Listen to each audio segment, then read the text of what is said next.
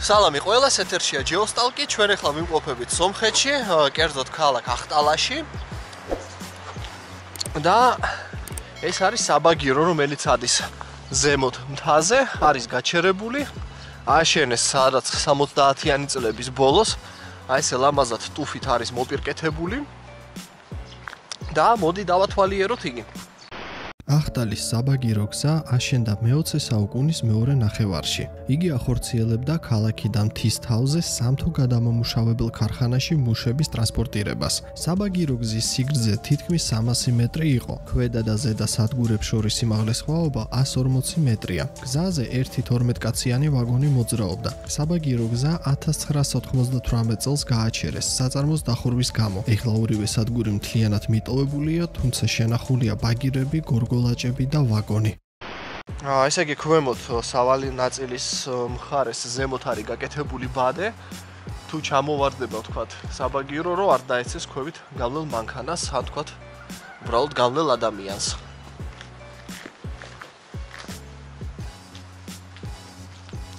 ესე იგი ქვემოთ ხო ცოტა სუნი დგას. ქვემოთ არის აი ესეთი საპირწონეები რომლებიც ჭიმავენ უკვე ბაგირებს. მოდით გადავინაცვლოთ ბაქანზე.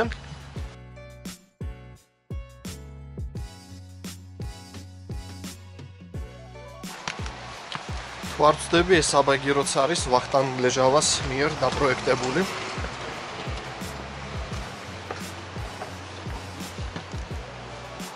ეხლა ჩვენ ვართ ბაქანზე.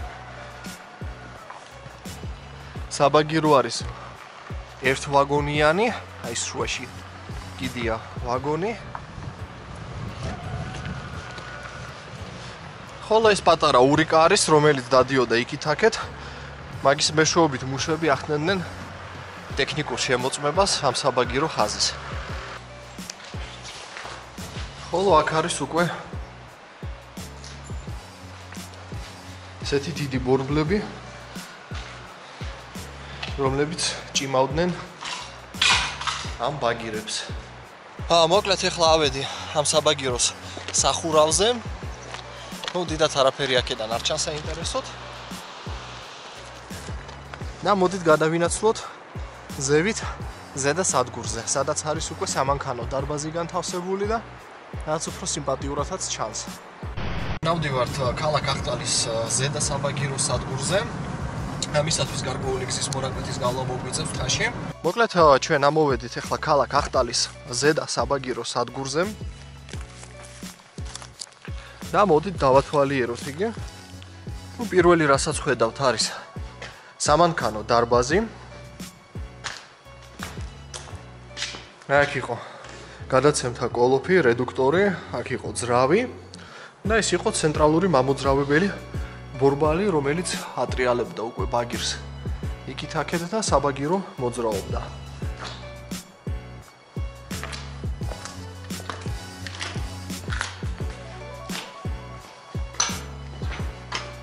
აი ზემოთ წესი იჯდა ოპერატორი, რომელიც მართავდა ამ საბაგიროს მუშაობას.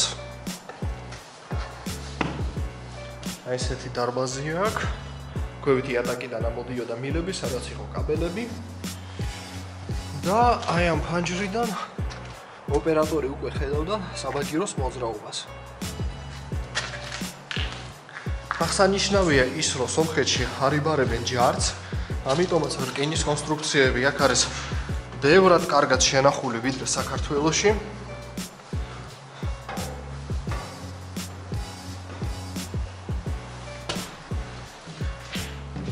ესეც ზედა გორგოლაჭები.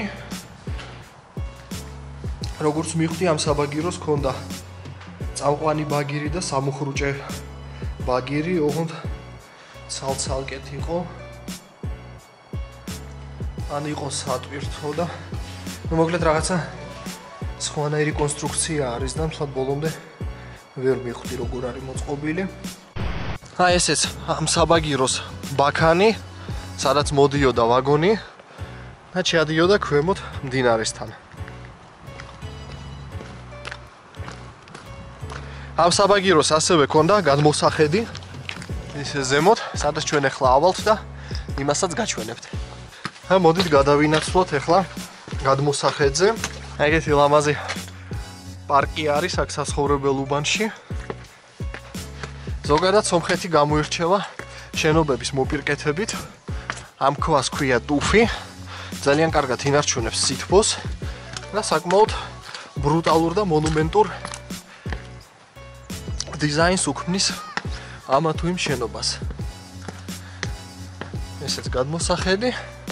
ეგ იყო შუშები. შუშის ბლოკები, რომელიც ჩალეწილია. ხალ ეს არის გადმოსახედი.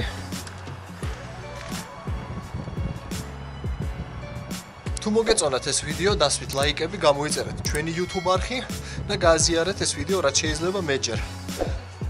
გემშვიდობებით.